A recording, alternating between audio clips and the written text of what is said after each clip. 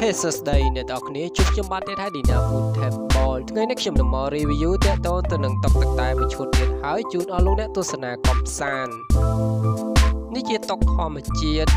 ដែលយើងច្នៃវាចេញពីចិត្តពីគុលផាងជាសន្លឹកតបជាប់ជាមួយនឹងជើងបែបគុលឬបែបធម្មជាតិតែម្ដង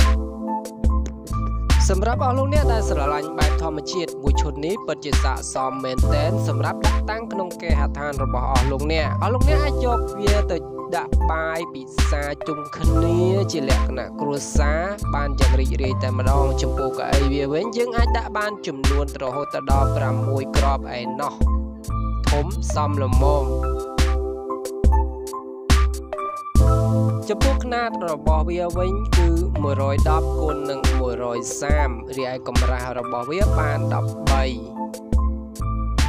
នេះជាប្រភេទតុកធំល្មមហើយសម្រាប់អស់លោកអ្នកយកទៅធ្វើជាតុកបាយ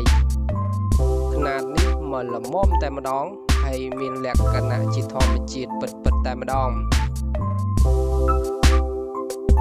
ដែល បរទេសឧស្សាហ៍ធ្វើបែបធម្មជាតិនេះយកទៅដាក់តាំងផ្ទះរបស់គេពិតជាស្អាតមែនទែននៅលើខ្មែរយើងក៏សម្បូរដែរសម្រាប់ជាងដែលគាត់ចូលចិត្តច្នៃបែបធម្មធម្មជាតិ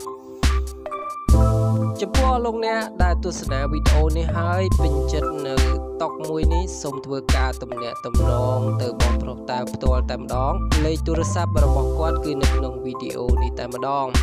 ចំពោះព័ត៌មានបន្ថែម តាក់ទងសួរគាត់ដោយផ្ទាល់តែម្ដងចំពោះថ្នាំដែលប្រើនៅក្នុងតុកនេះវិញជាប្រភេទថ្នាំស្រអាប់បែបធម្មជាតិនោះទេយើងធ្វើអ្វីឲ្យវាស៊ីគ្នាជាមួយនឹងធម្មជាតិទាំងអស់តែម្ដង